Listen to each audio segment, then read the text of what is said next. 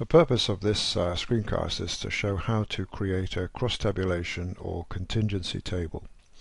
So we have some interesting information on restaurants, how much they charged, and how the people rated them. So we're going to build up a table of meal price and quality rating using pivot table. So go to insert and then pivot table is here and select the table or range. Now I just want uh, meal price and quality rating so all of those go in there. I'm going to ignore the restaurant ID number because that's not interesting data to me. Use the existing worksheet, go OK.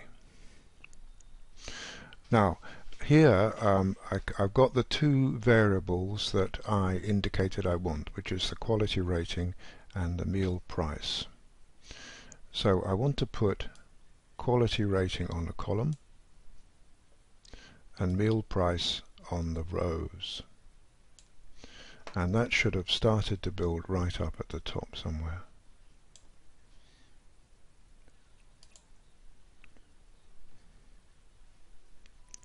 And here we have the answer. Quality rating across and then the meal price. I could change it round. Let's do that because we can drag and drop these things. So meal price on the row and then quality rating as a column. It becomes very messy. So I'm going to stick with meal price as, as on the uh, on the columns and quality rating on the row.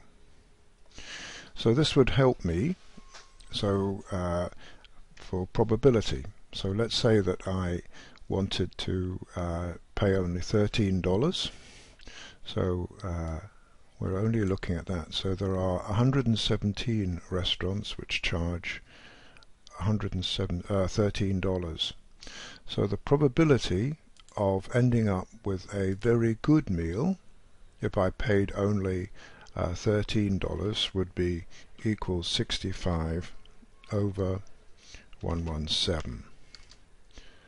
So I've got a 55% chance of getting a good meal if I pay only $13.